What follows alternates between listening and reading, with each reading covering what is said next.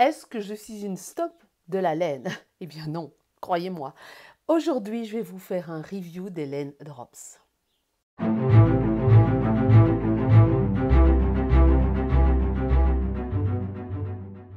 Bonjour à tous, bonjour à toutes. Ici c'est Christelle Nioul, Christelle Elka, designer tricot, et ceci n'est pas un podcast.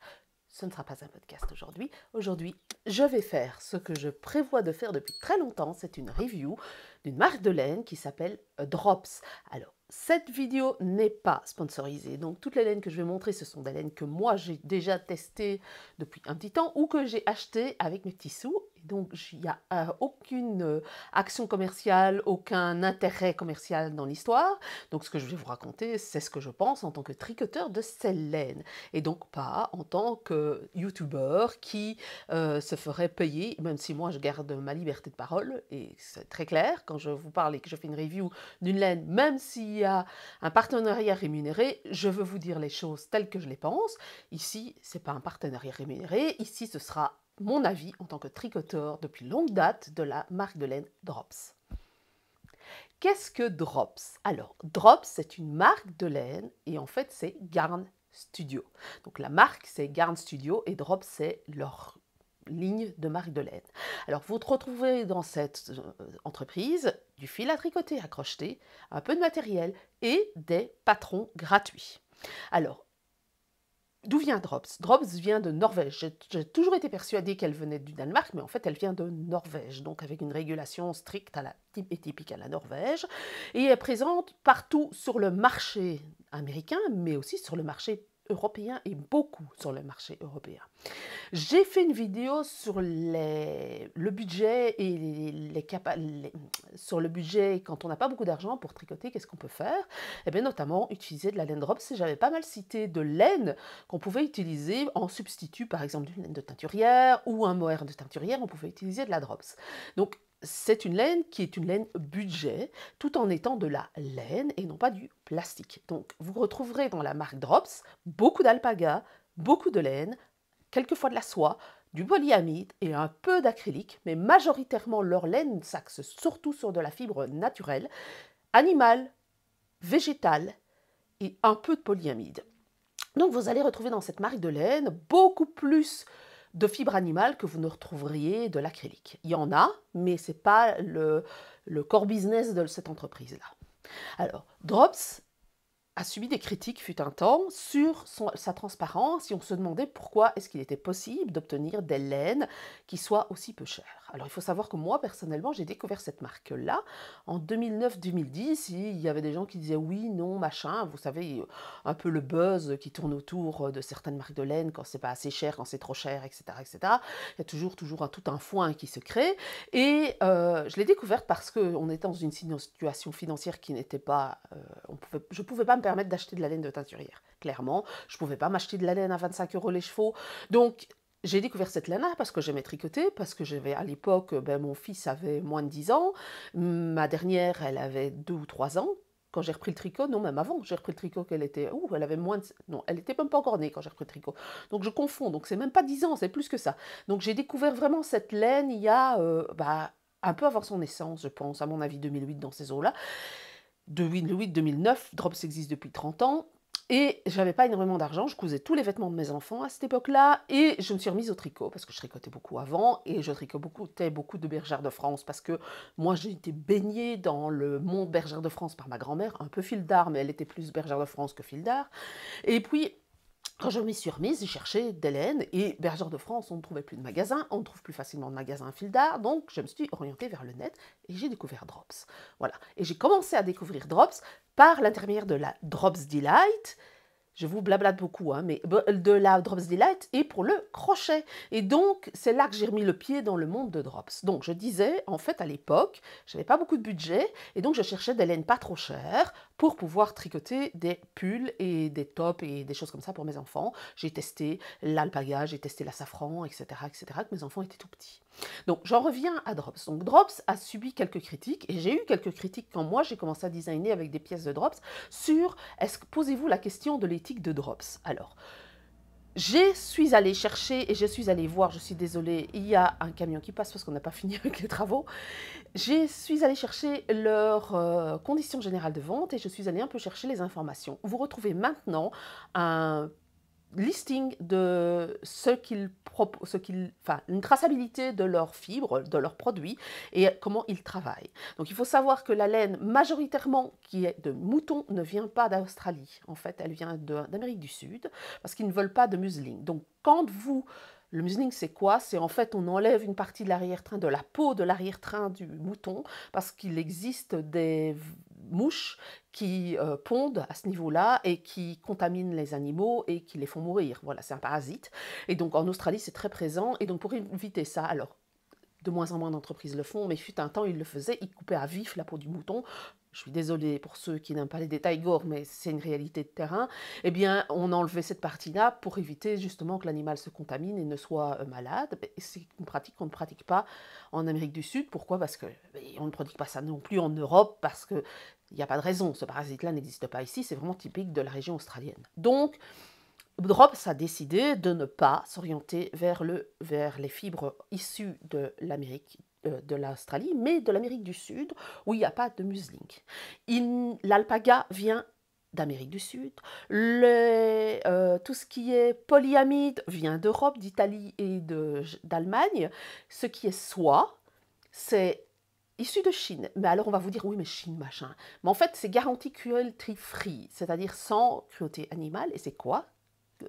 Euh, cruauté, Non, pas de cruauté animale. En fait, on ne tue pas le verre on ne le blesse pas et on ne le tue pas. C'est-à-dire qu'on va récupérer le cocon avant qu'il ne soit troué. Comment est-ce qu'on faisait la soie avant? C'est qu'on faisait euh, reproduire des papillons de soie mulbert, des bombix, qui faisaient des cocons et avant que le ver ne coupe ce cocon, on plongeait le cocon dans de l'eau bouillante pour le tuer et on récupérait la soie. Eh bien ici c'est pas le cas. Ils vont récupérer le cocon après que le papillon ait été clos. Donc la soie est abîmée, forcément, puisque le verre a racoupé, mais on en fait quelque chose.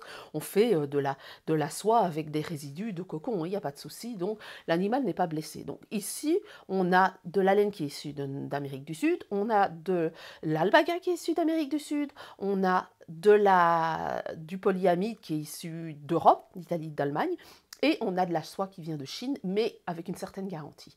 Quant au travail au niveau humain, en fait, ils ont signé une charte pour respecter les droits humains au niveau euh, de, comment dire, au niveau euh, euh, respect du travail de l'homme. Donc, il y a cette charte-là aussi. Et leurs fibres sont, enfin, leurs couleurs sont Ecotex. Donc, voilà un peu pourquoi Drops n'est pas si mal que ça. Ils ont revu leur position, ils ont toujours à s'améliorer, ils le disent eux-mêmes.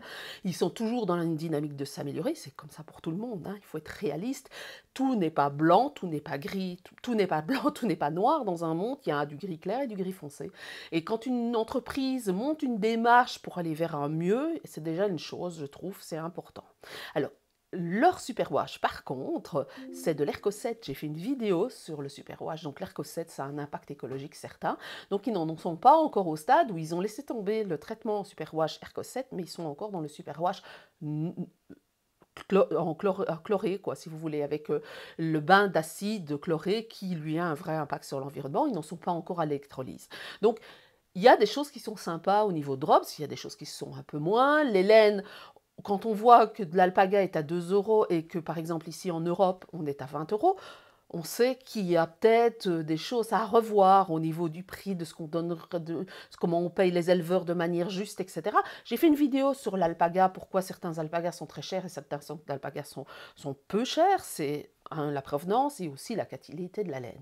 Donc voilà, je vous brosse un tableau très très généraliste de drops.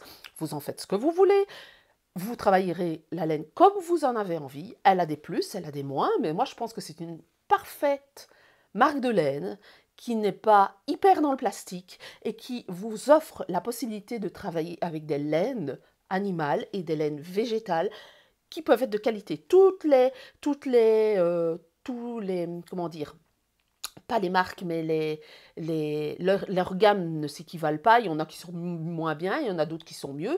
À vous de choisir, à vous d'expérimenter, mais ça vous permet de pouvoir utiliser de la fibre animale et de la fibre végétale sans avoir un impact écologique énorme en n'utilisant que du plastique. Première gamme, pour moi la gamme que j'ai le plus utilisée. Alors je n'ai plus de plot, j'ai cherché dans mon stock mais je n'en ai plus, j'ai tout utilisé. Mais j'ai un projet terminé, vous allez le reconnaître, c'est la Baby Merino. C'est celle-ci que j'ai fait, dans l'autre sens, j'ai utilisé ce fil pour faire le pantalon, dont je ne me souviens plus du nom, je vous mettrai le nom ici en dessous, le pantalon de ma fille. Alors là, donc euh, j'ai utilisé, je crois que c'est 8 plots pour faire son pantalon pour une fille d'un mètre 77, 77.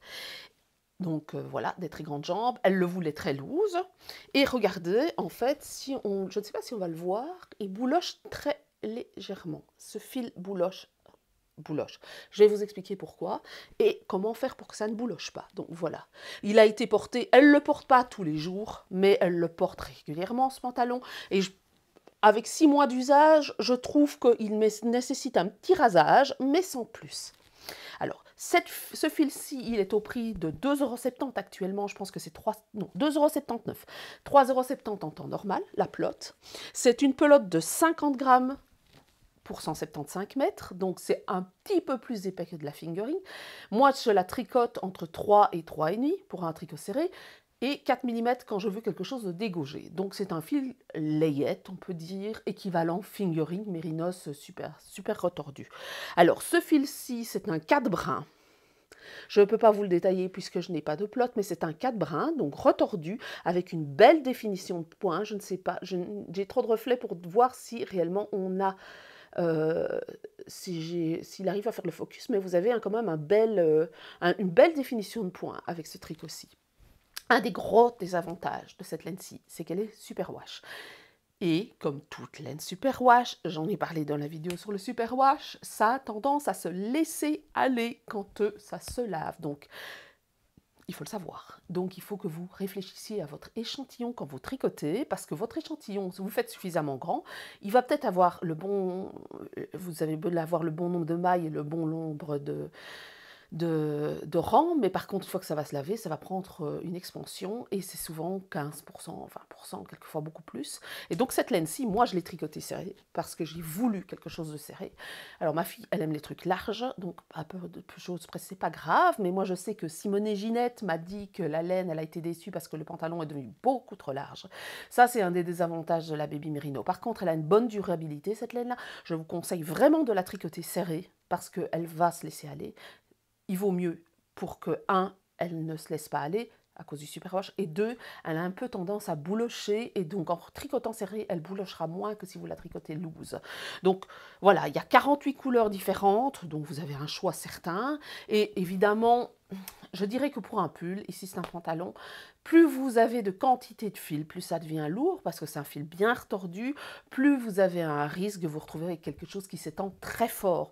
Donc c'est à réfléchir. Mais par contre, c'est une excellente alternative, cette laine-ci, pour faire les pulls qu'on voit beaucoup pour le moment, qui sont les pulls euh, mérinos et mohair. Si vous rajoutez un brin de mohair ou d'alpaga et soie, eh bien vous allez avoir une certaine tenue et ça va être parfait. Voilà, c'est vraiment le genre de fil qui est vraiment le genre de fil polyvalent à 2,70€ la plotte, ce qui équivaut à 5 euros pour le moment, hein, 5,40€ pour l'équivalent de 5,40€ pour un écheveau de fingering de teinturière.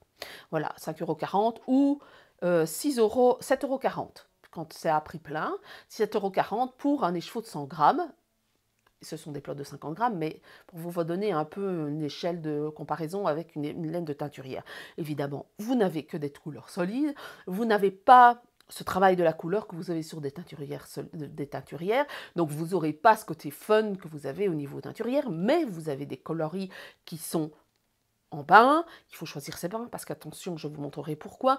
Il faut choisir ses bains, il faut prendre tout le même bain. Donc n'achetez pas euh, six mois après une laine que vous imaginez être le même bain, vous allez avoir des surprises. Donc euh, voilà, la Baby Merino, franchement, elle est vraiment sympa. Dans la même catégorie, vous avez la Merino Extra Fine et la Big Merino.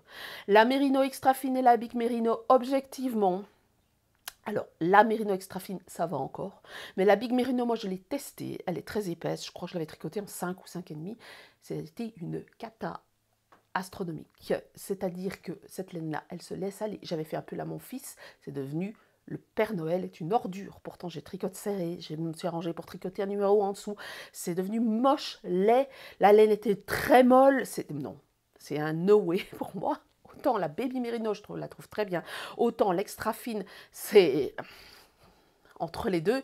Et alors là, la, la Big Merino, non sans façon, objectivement, de mon point de vue, non, je n'en achèterai plus. Jamais, c'est fini. J'ai fait une fois l'expérience. Ça a été une serpillière. Pourtant, c'était pas un pull, il avait 7 ans, je crois, quand lui ai tricoté. C'était pas un pull euh, énorme d'un homme, quoi. C'était vraiment, je sais pas combien de pelotes j'avais mis, mais pas des tonnes. C'est devenu une serpillière. Donc, plus jamais, jamais, jamais, je n'utiliserai de la Big Merino. Par contre, la Baby Merino, sans problème. En plus, c'est un plaisir à tricoter. Les points sont super réguliers. Le rendu est vraiment très rond. Vous avez un bon retort c'est vraiment une blend qui est chouette pour, les, pour faire des lalayettes bébés, pour faire des petits accessoires, etc. etc. Il y a de moyen de s'amuser, je la trouve sympa. Passons à un autre grand, une autre grande laine phare de chez Drop, c'est celle-ci. Est-ce que vous la voyez? Non. Voilà. C'est l'alpaga de Drops. 100% alpaga. Alors, je vais prendre une autre pelote à côté. Vous voyez ici. Il préconise de la tricoter en 3 avec un échantillon de 24 sur 32 et qui contient 100% alpaga, vous avez 160 mètres pour 50 grammes, donc c'est équivalent sport. Alors moi je trouve que ça ressemble plus à de la fingering que de la sport, mais eux ils la classifient comme de la sport. Alors quand je vous dis que pour les mains il faut faire attention, voilà, ça c'est une laine achetée il y a 10 ans, ça c'est une laine achetée il y a 3 semaines, un mois. Même bain, même coloris. Voyez, j'ai un gris, j'ai un lilas. Alors, je vous l'ai montré dans la dernière vidéo, je fais une étole avec ça et je la tricote en double. Voilà, 100% alpaga, parce que je voulais absolument liquider cette laine. Alors, un des gros inconvénients, c'est que vous n'avez pas la régularité que vous avez avec de la Baby Merino. C'est un peu plus irrégulier. Ce n'est pas grave, moi je la bloquerai. On n'est pas non plus dans le truc catastrophique. Donc une fois bloqué, ça ira. On n'est pas avec le, fil d'alpaga étant un peu moins euh, nerveux que le fil euh, de mérinos. Vous voyez, attendez, je vais vous montrer. Je vais trouver une pelote. Vous n'avez pas euh, ce rebondi que vous avez. Regardez, j'ai pas de rebondi avec cette laine-ci que vous avez avec du mérinos. Le mérinos, il y a une certaine euh, mémoire qui fait que ça revient. Je vous en ai déjà parlé, hein, ça. Vous n'avez pas du tout ça avec l'alpaga. Donc, quand vous tricotez, vous n'avez pas le point qui se met super bien en place, quelque chose de très rond, de très lisse, quasiment machine. L'alpaga, vous n'avez pas ça. Mais une fois que vous bloquez, si vous êtes régulier dans votre façon de tricoter, ça va passer de toute façon. Mais donc, voilà pour cette laine-ci. Alors là, 100% alpaga, elle n'est pas très chère.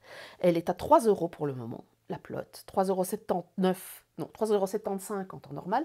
Donc 3 euros, il y a une promotion pour le moment. Pour une pelote, donc ça fait 6 euros pour un écheveau de 350 mètres environ. Donc c'est aussi un prix très raisonnable. Alors j'ai beaucoup tricoté ce fil-ci. Alors un des gros inconvénients de ce fil-ci, il n'est pas super wash. Donc il feutre je croyais dans mon expérience, ça feutre, et très bien même. Donc si vous avez envie de vous faire des chaussons et de les feutrer, prenez cette laine, il n'y aura pas de souci, ça va feutrer. Donc l'alpaga, je vous conseille de le laver à la main et non pas à la machine, sauf si vous maîtrisez votre machine de manière très très très très efficace, sinon vous allez avoir quelque chose qui va feutrer. Indéniablement, ça feutre. Tout ce qui, toutes les fibres qui contiennent de l'alpaga chez Drops feutrent. Toutes sans exception. J'ai déjà fait l'expérience. J'ai fait ça avec de la lima, ça a feutré. Donc euh, voilà, prenez pas ce risque-là, sauf si vous voulez un objet, euh, feutré par la, par la même occasion, mais ça feutre. Alors, elle bouloche relativement peu. Ça reste de l'alpaga, ça bouloche un peu quand même, mais elle, elle, bouloche relativement peu. Vraiment peu. Je l'ai eu fait pour faire un petit euh, patron dont je ne me souviens plus du nom, je vous mets la photo ici, il y a des années pour ma, pour ma grande qui a 17 ans maintenant, et voilà, le rendu était vraiment très sympa, c'était une très jolie couleur, c'était la couleur que j'ai utilisée ici, celle-ci, voilà, c'est les restes de celle-ci. Eh bien voilà, elle l'a porté longtemps, elle a apprécié. Un des gros inconvénients de cette laine-ci, si vous êtes sensible, vous allez sentir ça pique un peu. Ce n'est pas un alpaga baby alpaga ni royal alpaga, je le mets ici. Dans les catégories alpaga, il faut savoir qu'il y a des épaisseurs de fibres, et donc vous avez de la fibre très fine et de la fine plus épaisse. Et donc ici, ça doit faire partie de la fibre moyenne, parce que honnêtement, vous sentez que ça pique un peu. Ça pique un peu. Cet alpaga-ci est un, alpaga qui pique un peu. Donc si vous êtes sensible, vous n'allez pas spécialement apprécier. Sinon, moi, je suis pas sensible. Moi, je porte de la laine... Euh, Istex, Lopi euh, sans problème, donc ça, ça ne me dérange absolument pas, mais absolument pas du tout, mais vous allez le sentir quand même. Donc même la peau, vous pouvez sentir que ça ça gratouille un tout petit peu. Il y a des gens qui ne supportent pas du tout, mais celui-ci va gratouiller un petit peu. Donc ça, c'est l'alpaga de Drops, et pour moi, c'est une des marques, c'est une des parties phares de leur, leur gamme. Et ils ont 31, non, 51 couleurs. Et il y a les unis. Et puis, il y a aussi des légèrement tuidés. Donc, vous avez un mélange, ils appellent ça alpaga mix, je pense, où vous avez un effet un peu chiné dans la laine et vous n'aurez pas cet effet aussi lisse que celle-ci. Donc, vous avez le choix dans les 41 couleurs, un peu chiné et très euh, uni. Dans la même gamme alpaga, vous en avez une autre qui est l'alpaga et soie. Alors, ici, je vous montre la... J'ai fait la manchette de mon sweater, scarf, je ne sais plus de Nitatitude, je vous mets en dessous, je ne retiens pas les noms, moi. C'est quand même phénoménal, je ne retiens pas les noms. Donc, j'ai doublé alpaga et alpaga soie, je vous retrouve cette pelote-ci, c'est ceci. Donc, vous avez de la soie dedans. Je ne sais plus combien la quantité. Je vais regarder. Je ne l'ai pas sous la main, ce n'est pas grave, mais il y a, je crois que c'est 30% de soie qu'il y a. Et vous avez cet aspect un peu plus doux, beau un peu moins, franchement un peu moins. Alors piqué, franchement piqué. moi ça ne me gratte pas. Et vous avez de la soie dedans. Alors ce fil-ci, il est très très doux touché. Par contre, ça se laisse aller d'une manière phénoménale. L'alpaga, c'est très très mou. La soie, c'est encore pire. Donc vous allez avoir quelque chose qui va se détendre et détendre et détendre. C'est à prendre en considération à ne pas utiliser pour faire un pull. Et en plus, elle bouloche clairement. Donc moi, je l'ai utilisé pour faire un châle que j'ai offert et ça a bouloché. J'utilise le reste ici. Ça ne boulochera moins puisque j'ai mélangé avec de l'alpaga. Mais honnêtement, ça, c'est... Elle est très douce, elle est sympa, mais... Voilà quoi, si vous voulez un objet durable, c'est peut-être pas la gamme vers laquelle vous devez vous orienter. Troisième catégorie que j'ai testée. Alors celle-là, j'ai pas vraiment de retour sur le temps parce que je viens de la tricoter. Je me suis dit que je, la, je ferai un test pour vous.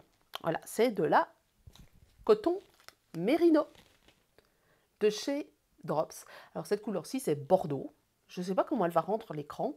J'ai énormément de mal à la rendre en photo. Elle fait 50 grammes pour 110 mètres, donc l'équivalent d'une ticket, aiguille 4 mm, échantillon 21. J'ai adoré la tricoter. Ça donne ceci. C'est le Mini Mock Tank de Jessie May. Et honnêtement, vous avez une super définition de point. J'ai adoré tricoter ce fil.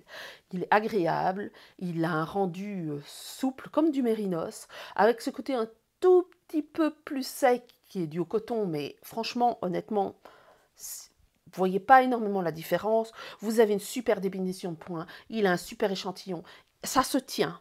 Contrairement à la Baby Merino, ça se tient, ça ne s'y tend pas comme la Baby Marino. Franchement, j'ai adoré ce fil. Je trouve que c'est une super alternative au Merino fine, extra fine de, de, Drops, justement. Et je ne sais pas si elle est super wash. Je vais Oui, elle est super wash. Mais comme il y a du coton dedans, vous n'avez pas perte de, de cette tenue. Parce qu'il y a du coton, c'est ça ne s'expand pas le coton. Donc, quand vous bloquez votre, échantillon, votre échantillon, il ne perd pas euh, sa forme, il ne prend pas une grande, grande ampleur, vous ne prenez pas 15% euh, dans la vue parce que euh, c'est du Mérinos Super Wash. J'ai vraiment adoré. Franchement, j'ai vraiment adoré. Et en plus, il, il tient bien. Vous pouvez tricoter serré avec ça. Il n'y a pas de souci, ça va se tenir. Je suis vraiment conquise, moi, par ce fil-ci. Honnêtement, on verra à l'usage, on verra si ça bouloche, mais je suis vraiment, vraiment, vraiment conquise par ce fil. Et ce fil fait 2,57€ pour le moment, et normalement, il fait 4,80€ la plotte de 50 grammes. Il y a 23 couleurs, donc il y a un peu moins de couleurs dans celui-ci, mais honnêtement foncé, parce qu'il franchement, il est vraiment top. Pour des pulls enfants, pour des pulls euh, entre saisons, ou vous n'êtes pas quelqu'un qui est particulièrement frileux, ce coton mérino-là, moi je le trouve génial. Alors, un petit chouchou pour moi, qui n'aime pas trop le kit mohair de chez Drops parce que je trouve qu'il pique le kit mohair de chez Drops. Il y a des qualités qui sont vachement meilleures que celui-ci. La kit silk de Drops, la kit silk de Rowan à côté, euh, c'est un bonheur de côté avec. J'aime pas du tout la kit silk de Drops, c'est celle-ci. C'est la brush Alpaga Silk. J'adore ce fil. Il est excessivement doux. Alors celui-là, contrairement à l'Alpaga 100%, ne pique absolument pas. Et vous avez l'impression d'avoir un nuage dans les mains. J'adore ce fil, vraiment. Franchement, c'est pas la première fois que je le teste. Ici, je l'utilise mes fonds de plot pour faire une tête de whippet, pour faire un, un, chien. Alors, je n'ai pas beaucoup avancé depuis, hein, mais j'essaie de, de le finir. Je vous mets le patron ici, c'est de Claire euh, Dot Peebles de Claire Garland, voilà, de Claire Garland pour faire un doudou. Et comme je joue avec les épaisseurs et que je joue avec une laine qu'on ne trouve plus, qui est la laisse que j'avais en stock, eh bien, honnêtement, j'adore ce fil. Franchement, c'est vraiment un fil que... Voilà, je l'aime beaucoup, beaucoup, beaucoup, beaucoup. Il est, euh, c'est du, que je regarde, 77% alpaga, 23%, 13%, non, 23% soie, il est, c'est un, alpaga brossé, et donc ce n'est pas un alpaga filé comme euh, vous auriez le 100% alpaga, c'est un peu soufflé comme, euh, pas soufflé, mais retordu comme le du mohair, et c'est une excellente alternative au mohair. Moi j'aime vraiment beaucoup, la plotte fait 500, 25 grammes, vous avez 140 mètres, c'est 280 mètres pour 50 grammes, c'est un peu plus fin, un peu plus épais que le mohair, mais c'est une excellente alternative. Il peut se tricoter en 5, en doux par exemple, pour avoir quelque chose d'un rendu euh, très très très aérien. Vous pouvez le remplacer euh, quand vous faites des pulls mérinos et mohair, vous mettez mérinos et brush alpaga silk, si vous supportez le mohair, je trouve que c'est une excellente alternative. Il est euh, c'est de l'alpaga du Pérou, c'est de la soie de Chine. Il y a 29 couleurs de, de cette gamme de couleurs ici. Et moi, j'avais fait un pull à l'époque avec la laisse qui n'existe plus. C'est celui-ci et je pense que je vais me le retricoter. Vous allez voir, ce pull, je ne l'ai pas encore lavé. Il est froissé, il a quelques années. Il faut que je répare la manche, il est dans le stock, mais je suis allée le rechercher parce que on peut... Là, vous avez euh, de manière brute le résultat. Voilà ce que ça donne. En fait, ça fait des années que je porte ce pull, des années, hein, parce que je crois que je l'ai designé euh, avant le Covid. Donc ça doit faire 2018 ou 2019. C'est le Calm Vibes. Je vous mets le patron ici en dessous. Donc ce pull-ci. Il est tout chiffonné en dessous. Il a un peu bouloché. Mais franchement pas beaucoup. Parce que quand je vois le nombre de fois que je porte ce pull, alors pas du tout pour le moment, parce que même si c'est tricoté avec un fil dentelle et que c'est tricoté avec de l'alpaga brush qui a un fil très fin, eh bien j'ai eu un échantillon de 22 mailles et honnêtement il est très chaud. Franchement, très chaud. Donc, je ne le porte pas pour le moment, forcément. Je dois le laver, je dois réparer la manche qui est un peu abîmée ici. Donc, je vais démonter la manche quand j'aurai fini le chien pour refaire une manche correcte, pour pouvoir, euh, ça va pas être compliqué, hein, pour pouvoir finaliser... Euh, enfin refaire quelque chose de correct. Et regardez, honnêtement, à part le fait qu'il est plissé parce qu'il était dans l'armoire, honnêtement, ce pull, il est sale, il doit être lavé. Il a déjà été lavé un nombre incalculable de fois. Incalculable, non, moi je lave pas souvent mes pulls, mais il a été lavé quelques fois quand même, vous n'avez pas du tout, du tout, du tout de d'altération de la fibre. Un peu au manche parce que forcément moi je bouge, je, frotte et c'est un peu sa vie quoi tout simplement. Il y a un peu de frottement ici en dessous des bras, ici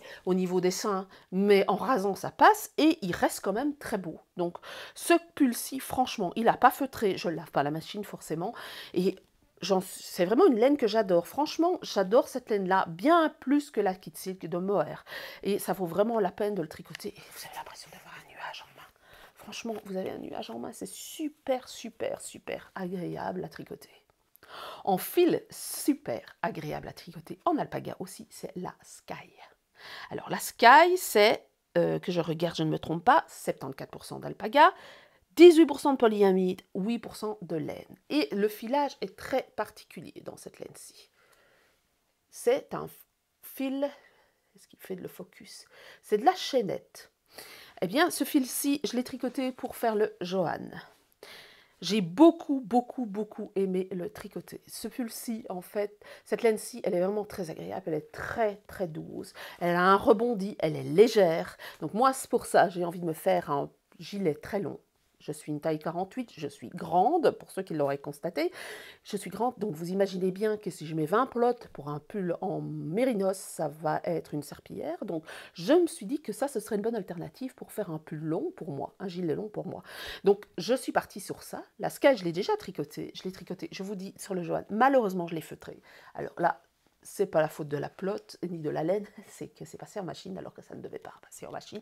Je ne sais pas ce qui s'est passé. C'est un accident, on va dire. Il a feutré. Je crois que je l'ai mis dans la machine par euh, parce que j'avais besoin, je devais euh, faire sa fissa ou je ne me souviens plus. C'est parti avec le linge.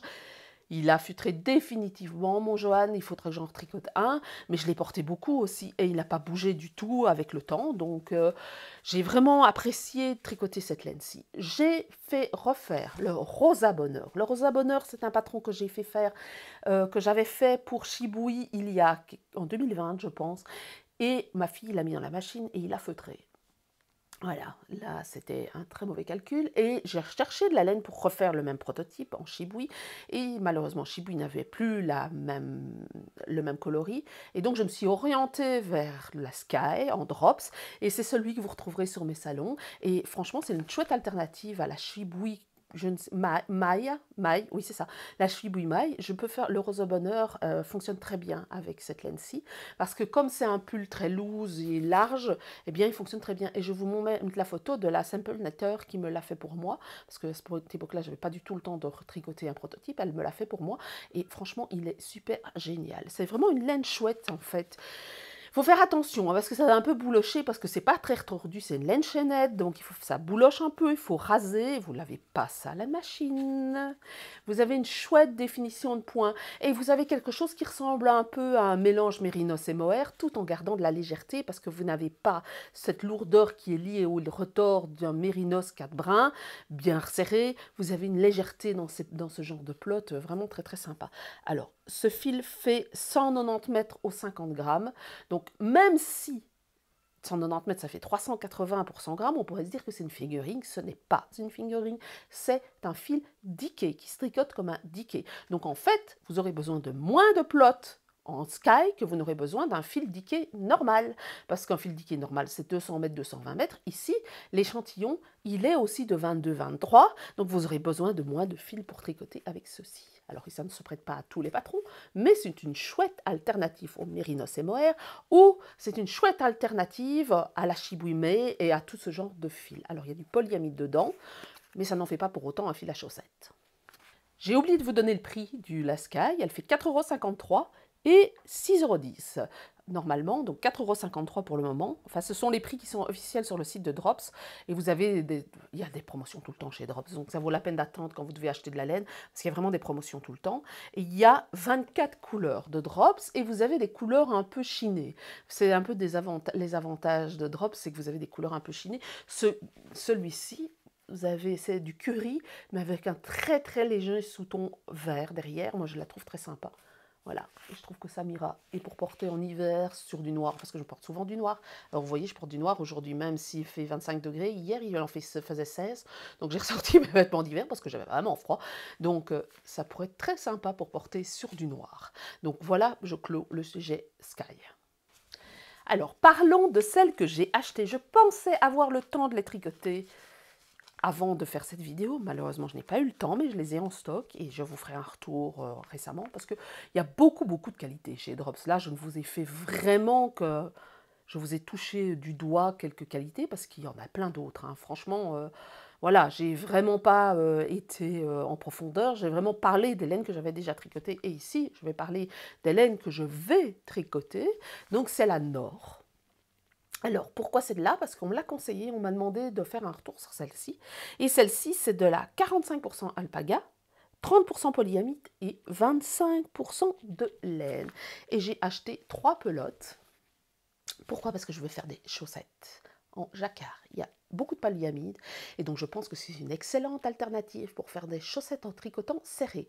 Alors l'échantillon est de 24 en aiguille 3 mm, je les tricoterai en 2,25 ou en 2,5 pour avoir un échantillon serré parce que plus vous serrez les chaussettes mieux c'est forcément, parce qu'il faut une aisance négative.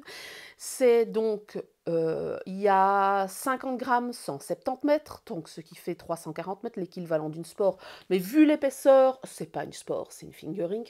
Donc cette laine-ci va servir à faire des chaussettes en jacquard. Je n'ai pas le patron à vous montrer, je ne suis pas encore décidée sur le patron définitivement. Donc j'ai trois plots. On verra si j'ai assez. J'en ai peut-être une quatrième, mais je pense que j'en ai que trois en fait. On verra si j'ai assez pour faire une paire de chaussettes et je vous ferai un retour sur cette, paire de chaussettes et sur ce fil. Donc je pense que ça va être comme le reste. Je ne vais pas laver ça à la machine, même s'il y a du polyamide, parce qu'il y a de l'alpaga dedans. Mais j'espère que ça va avoir une tenue sympa et surtout que ça va me garder chaud aux pieds, parce que l'alpaga est un peu plus chaud que le mérinos, surtout le mérinos super wash. Et cette laine-ci, elle n'est pas super wash. Le prix de la Drops Nord est de 2,13 euros la plotte ou 3,50 euros hors promotion. Vous avez, vous avez, vous avez, vous avez 23 couleurs différentes. Donc voilà, ça peut être sympa pour pouvoir faire du jacquard. Je me dis qu'en jacquard, c'est des couleurs sympas parce qu'elle est un tout petit peu, un peu fluffy, un tout petit peu chinée. Les couleurs sont pas ultra régulières. C'est pas un bleu. Euh, si vous voulez, dans le fil, vous avez euh, des sous-tons verts, un peu de bleu foncé, un peu de bleu clair, comme si on n'avait pas tout à fait teint de manière unie, totalement euh, manière brute et, comment dire, vraiment euh, dense la couleur. Et donc, on a quelque chose qui est, qui est comme ceci. Et dernière qualité, ça, ça fait un petit temps que je l'observe celle-ci, c'est de la mélodie de chez Drops. La mélodie, c'est 71% alpaga, 25% laine et 4% polyamide. Et ça ressemble très très fort à la broche alpaga silk, mais en version très très très très grosse. Elle se tricote en 5 mm, je pense. 8 mm, ils disent. 140 mètres ou 50 grammes. Je tricoterai pas ça en 8 mm, mais c'est super super fluffy et c'est super doux. Ça me donne envie de faire je sais pas quoi avec, mais voilà. Et le rose me va super bien. Donc, est-ce que je vais me faire un bonnet avec ça? Voilà, moi j'ai craqué sur celle-ci. Je ne sais pas encore vous faire de retour, mais je la trouve super sympa. J'aime bien cet aspect euh, très très très dufteux, qui ressemble à du mohair, qui ressemble à la broche alpaga silk, mais en fil beaucoup plus épais. Donc vous allez avoir quelque chose d'hyper aérien. Et cette laine-ci, elle fait 3,99€ et 4,90€ non soldés. Donc voilà, c'est vraiment un fil que je trouve sympa. Donc vous pouvez, euh, l'échantillon est de 12 mailles en 8 mm. Je tricoterai jamais ça en 8 mm. À mon avis, je vais descendre à travers du... Il y a des fois, j'ai des surprises dans les échantillons drops. On n'est pas sur du... Je, ne tiens pas toujours euh, ce qu'ils disent parce que, par exemple, je trouve que le fil est un peu plus fin, donc j'ai 100 d'aiguille pour avoir une meilleure densité. à mon avis, ceci, je ne vais pas le tricoter en 8 mm. En peut-être 5 ou 6, je pense. Donc j'aurai plus un échantillon vers le 16-17. Voilà. Je vais essayer, on verra bien de toute façon ce que ça va donner, mais ça me donne envie. Ça me donne même envie de faire un pull, vous voyez, pour avoir quelque chose de très fluffy, très aérien. Je vais mourir de chaud là-dedans, hein, mais j'aime vraiment, vraiment, vraiment cette laine-ci. Et alors, là, donc j'ai pas encore de retour à vous faire forcément, puisque je n'ai pas encore tricoté ce fil-ci. Elle est de, si ça veut bien, si mon PC veut bien, 18 couleurs. Il y a 18 couleurs pour cette laine-ci. Elle était en promotion quand je l'ai achetée. Donc voilà un peu les retours que j'ai à faire sur la laine Drops. Donc vous voyez que, ben, mine de rien, dans les laines que je vous ai proposées, il y a quand même quelques laines où il y a que de la fibre animale, où il y a un peu de polyamide parce que c'est soi-disant une laine à chaussettes, ou c'est une laine à chaussettes, ou pour X ou Y raison, ils ajoutent un peu de polyamide. Vous avez de la soie ou du végétal. Donc pour des prix raisonnables, parce qu'on est entre 2 euros et 5 euros la plotte, en fonction de la gamme, ça reste un prix raisonnable pour un pull. Ça reste raisonnable parce que pour le pantalon que j'ai fait pour ma fille, j'avais acheté la Drops Merino et je ne sais plus combien de plots j'ai mis. Je dois en avoir mis. J'en ai mis moins de 10 parce que j'en avais commenté 10.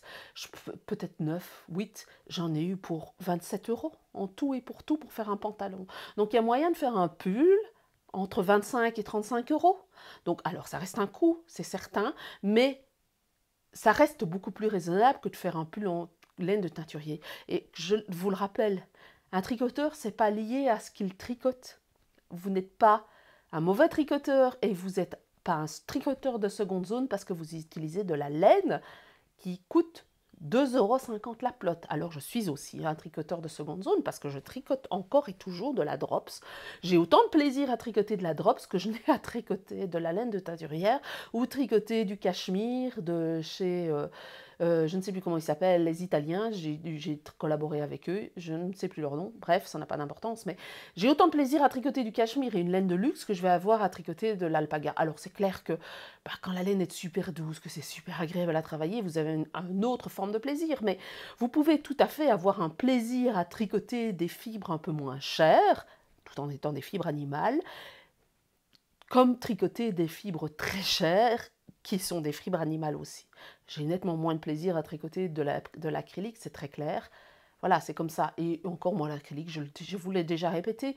L'acrylique, je m'en sers pour des cas spécifiques, mais ce n'est pas ce que je vais utiliser au plus commun pour faire des pulls, pour faire des tops, pour faire des châles. J'utilise pas d'acrylique, clairement.